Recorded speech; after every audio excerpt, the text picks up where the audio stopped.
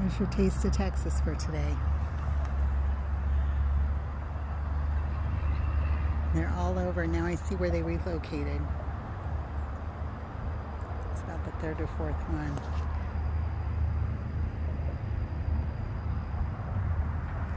I'm out walking.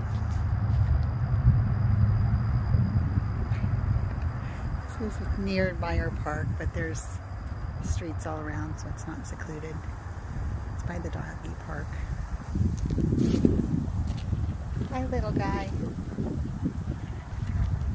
There's turtles out too. So, walking out here around this retention pond. But I see where the nutria rats relocated to. I haven't been over here in a long time. And it's got a nice path. And there's a little doggy park there. And the big doggy park's around the corner. It's a beautiful day. 77 when I got here, so freeze is over. All right, it's your taste of Texas for today. Love you guys.